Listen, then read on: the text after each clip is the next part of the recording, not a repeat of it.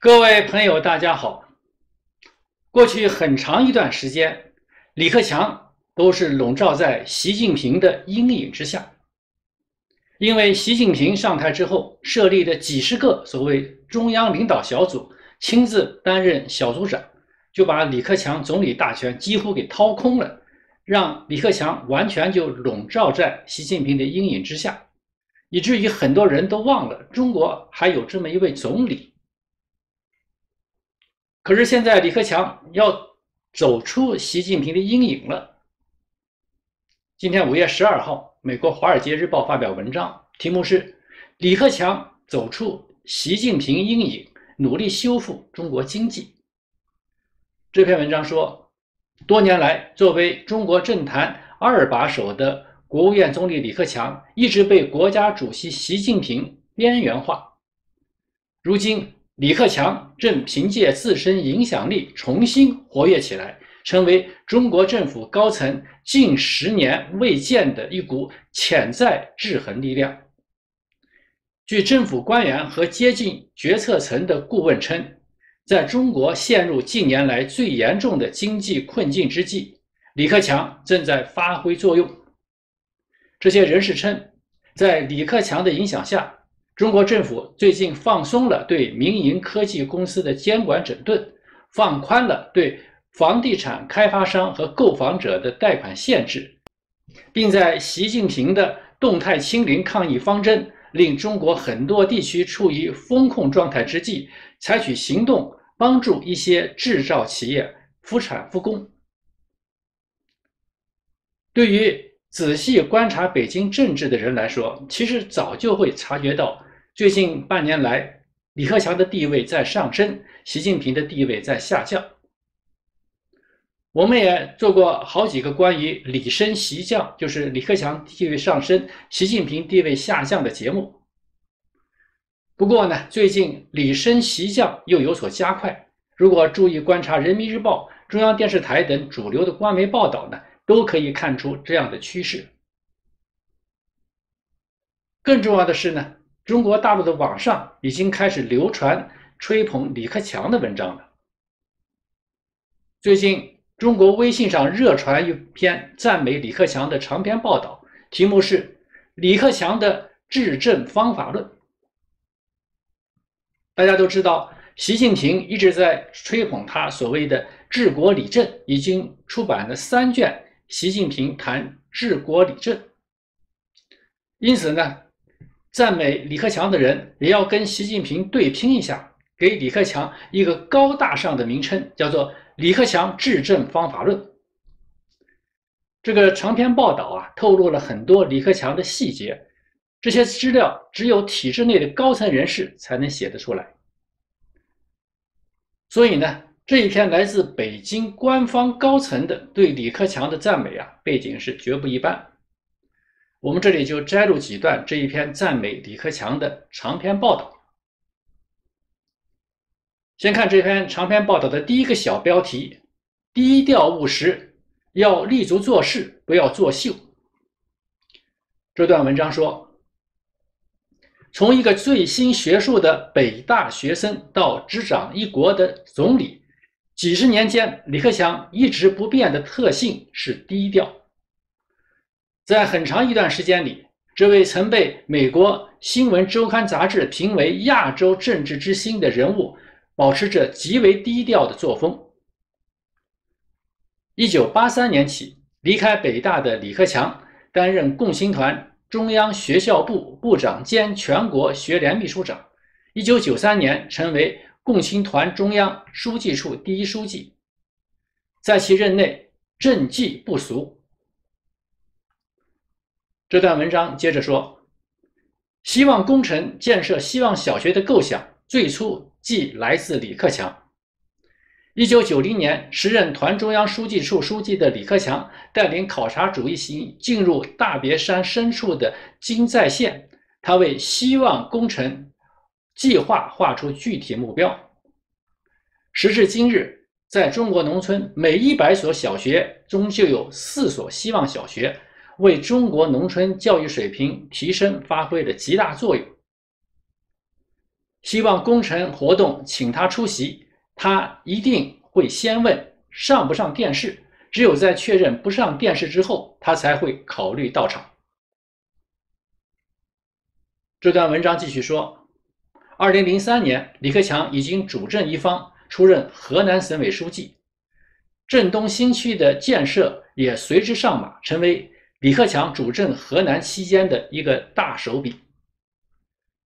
二零零四年，面对当时河南省防治艾滋病的形势，李克强一年之内三次到重点防治地区上蔡县考察，他要求进驻村子的。帮扶工作组干部一定要把工作做实做细，要立足做事，不要作秀。他下令打击非法采血，在全省十八式建立标准化采血站。在他任上，困扰河南十年的艾滋病疫情受到控制。这篇长篇报道的第二个小标题是：深入实际。谁都不要通知，不用任何准备。这段文章说，一九九三年六七月间，时任共青团中央书记处第一书记的李克强组织了新时期我国青年工作现状发展战略调研。李克强亲自为调研方法定调，开阔思路，深入实际，从中可以看出作为一位经济学博士的工作方法。在具体方法上要用归纳法，就是由个别到一般，从许多个别材料中概括出普遍性的结论。不仅要有定性的判断，还要有定量的分析。这段文章接着说，经过一个多月的调研，团中央各路人马回京之后，团中央书记处在京郊大兴举行了为期三天的务虚会。会上，李克强又主张大家放开说，可以各持己见，也可以各执一端。那段时间，团中央的工作状态很好，大家普遍热情高涨，这与李克强的气质有很大关系。徐永光接受本刊采访时说：“徐永光曾任团中央组织部部长，一九八九年出任中国青少年发展基金会秘书长。”与李克强在工作上有很多接触。这段文章继续说：，二零零四年，李克强调任辽宁省委书记。甫一上任，李克强就冒着零下二十九度的严寒，到抚顺的莫地沟棚户区调研。他提醒下属，谁都不要通知，不用任何准备。二零零八年汶川大地震期间，当时人们大多把关注的目光放在四川灾区，而李克强则到了同样受灾极重的甘肃、陕西考察。从电视镜头中看，李克强走在田边，满脚泥巴。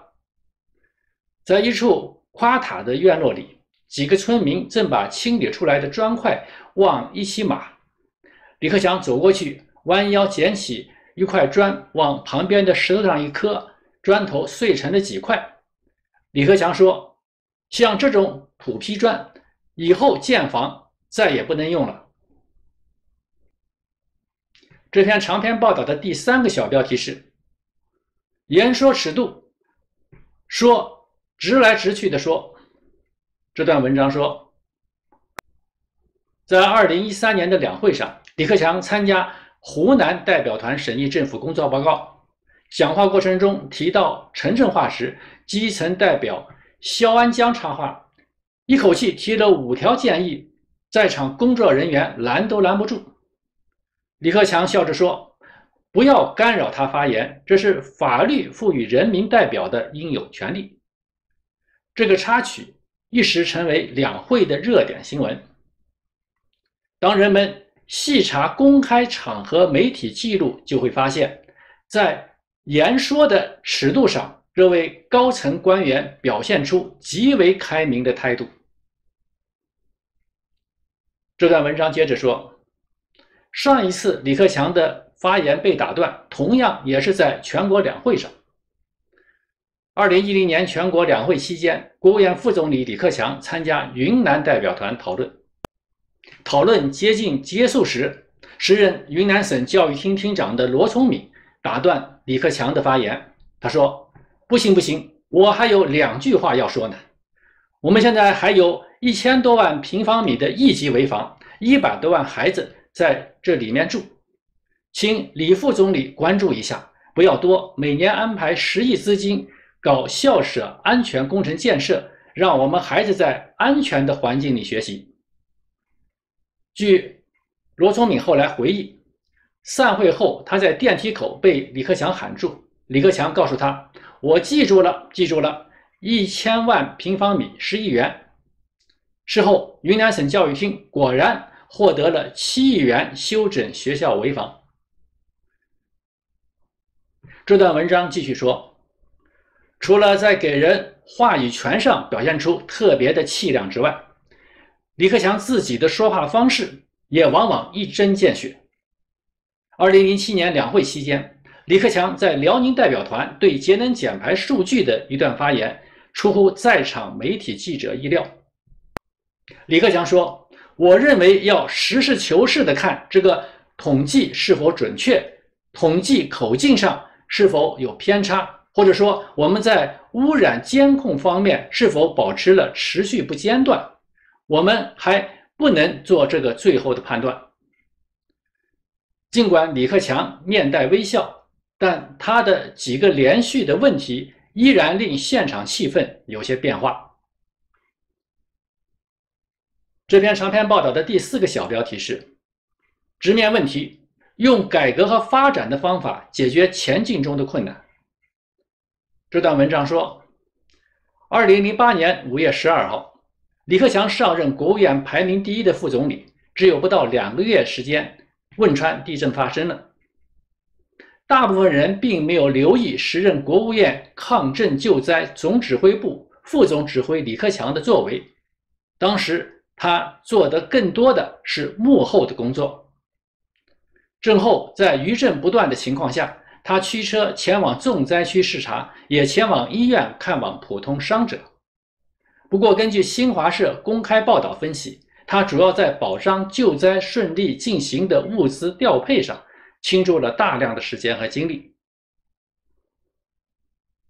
这段文章继续说，彼时国际上对中国物资援助十分迅速，一个月内即有四十多亿的现金和物资抵达中国。当年的六月底。中国外交部在北京钓鱼台国宾馆举行了一次抗震救灾答谢招待会。中国政府方面代表正是李克强，他对在场的一百七十多位外国驻华使节和国际组织驻华机构代表表达了感谢。一位驻华基金会负责人对记者回忆说：“李克强在现场的发言真挚得体。”令许多人动容。李克强在答谢致辞中说：“我们坚持用改革和发展的方法解决前进中的困难。”我们看这个长篇赞美李克强的文章啊，他用的资料基本上都是李克强担任副总理期间的资料。在李克强担任总理之后，他基本上被习近平架空，失去了实权，所以呢，可以说的事情也就不那么多了。而且呢，最近这些年，李克强做的事情又往往和习近平相抵触。如果说赞美李克强最近做的事情，那就要涉嫌有可能要批评习近平了嘛。所以这一篇赞美李克强的。文章啊，他是很巧妙的，就避开了李克强担任总理以后的事迹，他就用李克强担任副总理时间的这些事迹啊，来赞美李克强，就可以避开对习近平的批评。这篇文章的最后一段呢，是非常耐人寻味。这段话这样说：掌舵一艘十几亿人口的大船。对任何一个人而言，都意味着巨大的荣耀和压力。如今，他已经站上政治舞台的大幕之前，人们对他的政治之道心里也愈怀期待。多年后的一天，当他完成他的使命，和他的前任一样，站在最后一次记者招待会上时，他又会给出怎样的答卷？首先呢，这里说掌舵十几亿人口的大船，这里说的掌舵人是指的是李克强嘛？那按照中国的政治语言，只有国家领导人第一把手啊，才有资格称舵手，你才能掌舵国家的大船嘛。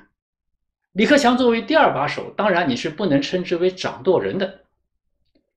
这篇文章把李克强称为掌舵人，那就是暗示李克强要在今年的秋天中共二十大上接班，要成为中共总书记，成为掌舵人。这篇文章又说，李克强已经站在政治舞台的大幕之前，人们对他心怀期待。这也是更明显的暗示，李克强要在。秋天的中共二十大上接班，所以呢，说李克强已经站在了政治舞台的大幕之前了，他就快要接班了。更说人们对他心怀期待，那就是说，如果是你要李克强在中共二十大退休的话，要退出政治舞台了，那人们对他还期待什么呢？所以这个时候，人们对李克强心怀期待，那当然就是暗示李克强将成为新的中共领导人。这篇文章最后说呢，多年后的一天，当他完成他的使命，他又会给出怎样的答卷？大家都知道，李克强的总理任期到明年就结束嘛，还有不到一年的任期，所以也谈不上多年后的一天。那么，在中国的中文的这个说法，多年后这个说法，当然就是指一年以上了。那么，如果说，李克强在秋天的二十大上升任中共总书记的话，那李克强的任期将有五年嘛？如果是这样，就可以说多年后的一天了。所以这篇文章最后其实就是暗示说，要在五年后啊，李克强担任中共总书记的任期结束后，李克强将完成他的使命，他会给出怎样一个答卷？这也就是展望啊，李克强成为中共最高领导人之后，中国会有什么样的变化？虽然说这些话都是用暗示的语言说的，那细心的读者呢，就不难从中体会出这个文章里面的含义。这里用相当长的篇幅摘录了这一篇赞美李克强的长文，也是想和大家分享几件事。第一件事呢，就是这篇文章是体制内高层人物写的，一般的人不可能掌握这么多详细的资料。第二件事，这篇文章在赞美李克强的同时，又小心的不要。激怒习近平显然是一个高手的作为啊，他分寸拿捏的非常好。第三件事呢，这篇文章强烈暗示李克强将在秋天的中共二十大接班，成为下一任的中共总书记。总而言之，现在李克强的地位上升已经是成为人们的共识。看来呢，李克强名字中“克强”两个字啊，说不定还真的会应验呢。好，今天先说到这里。非常感谢各位朋友观看我们的频道，希望今后继续得到朋友们的支持和帮助。明天见。